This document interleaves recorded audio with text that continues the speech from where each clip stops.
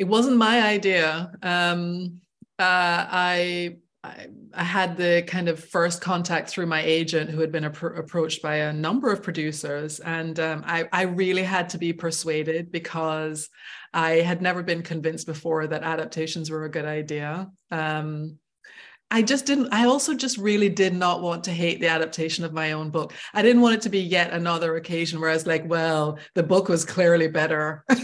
so um, it was a it was a risk given my kind of feeling about the whole process. Uh, but but the producers who ultimately did produce the show gave me the opportunity to adapt it myself. And my agent said, you know, you'd really be an idiot to turn this down. And she was right. Um, she was right, as she so often is. I fell in love with screenwriting, but I also fell in love with Karla Simone in this role. And so, you know, the two things just came together to make it a pretty enjoyable experience in spite of my initial reluctance.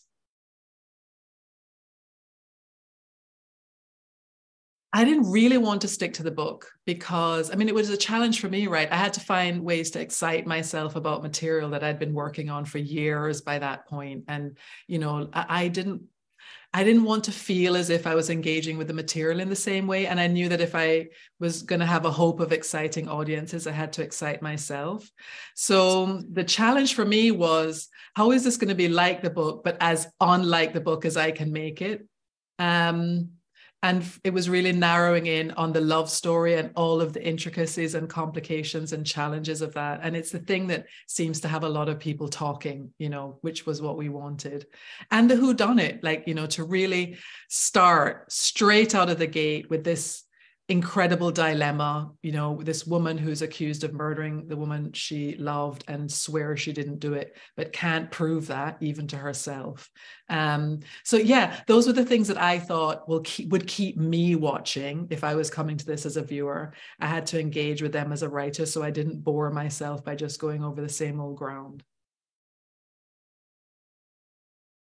So when i read the the script i was like oh it's a period drama? And i was like oh, she's Jamaican. Oh my God. I, like that literally was like, I was just in shock. Like I couldn't believe that there was a Jamaican woman in a period drama. And um, my family's Jamaican as well. So it just meant the world to me um, to try and get a lead role where I'm playing a Jamaican woman. And um, yeah, just um, from when I read her from the page, I immediately could see who she was.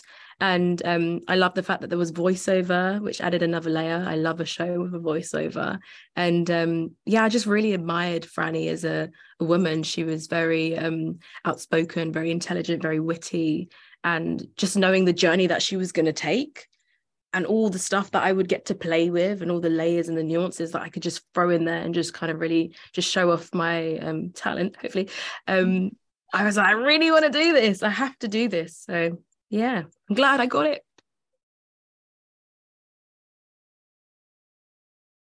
Usually I would read the book, but I felt like the process of from when I got the material, it was very quick.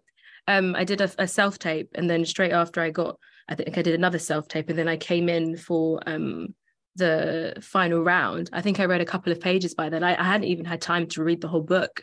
Um, but once I did get it, and I read it, I was devastated. I was like, oh my God, like just finding out, you know, her whole story and, you know, you get the whole backstory in paradise of how she grew up up until the end. And I was just, yeah, I was really moved by it. And I, I was very glad that this was the story that I was going to tell.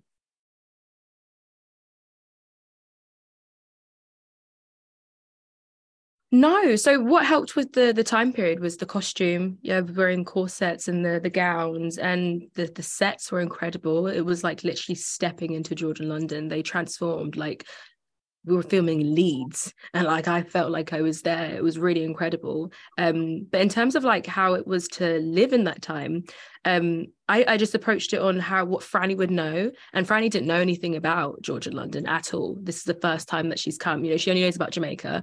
And um, so I did my own research on that and I, I knew my own as well. But um, yeah, it was kind of like going through it for the first time with her. Um, yeah, so I just kind of stayed true to what that would be a, a young Jamaican woman stepping into London. It's cold and everyone kind of behaves a certain way and follows certain rules. And she's like, I want to do what I want to do. um, yeah, that was my approach. I really wish I had a team of consultants. I wish I'd, I'd, been able to like call up. You know, I used to be a lawyer in my former life, and it's like I found myself kind of mm-hmm. remembering fondly the days where I could get an associate on the phone and say, you know, can I have a research memo on X, Y, and Z? But it was all me. You know, all of the uh, it really at the stage of writing the novel all of the research was done and it was all done by me and then no consultants on the project. But by then i had a particularly good foundation i think in the material myself.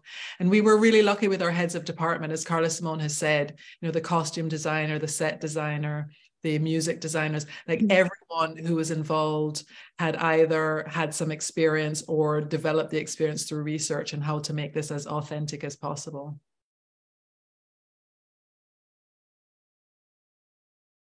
For sure. Frannie will make an imprint on your heart, definitely. Um, yeah, her journey is just a crazy emotional roller coaster.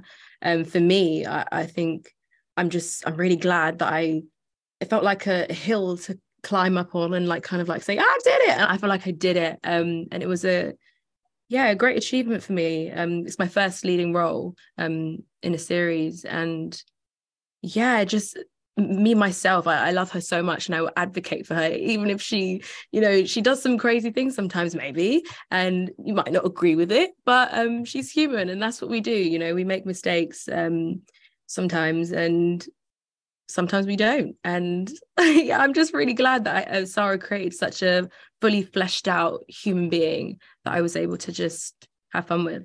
And then for my part i mean i've been trying to shake her longer than anyone else has been trying because she's been in my head since what 2016 i actually joked mm. i think it was on twitter like when we wrapped on this i was like well that's it for me and Frannie and if there's going to be a musical or a radio play no one better expect me to be writing it.